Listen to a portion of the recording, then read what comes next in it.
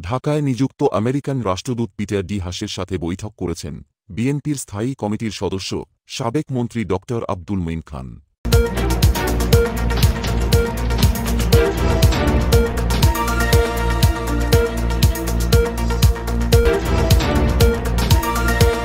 সোমবার দুপুরে বাড়িধারা ঢাকা এর আমেরিকান দূতাবাসে এ বৈঠক অনুষ্ঠিত হয়। এ সময় মার্কিন রাষ্ট্রদূত পিটার ডি হাসের সাথে সাক্ষাৎ করেন তিনি। এ তথ্য নিশ্চিত করেছেন বিএনপির সহ দপ্তর সম্পাদক তাইফুল ইসলাম। এছাড়াও মার্কিন দূতাবাসের পক্ষ থেকে এক্সার পোস্টে এ তথ্য জানানো হয়েছে। দুজনের ছবিও প্রকাশ করেছে দূতাবাস। তবে দুজনের মধ্যে কি আলোচনা হয়েছে তা এখনও নিশ্চিত হওয়া যায়নি। চেতনা টিভি। স্বাধীনতার চেতনায় চির উজ্জ্বল। আমাদের সঙ্গেই থাকুন।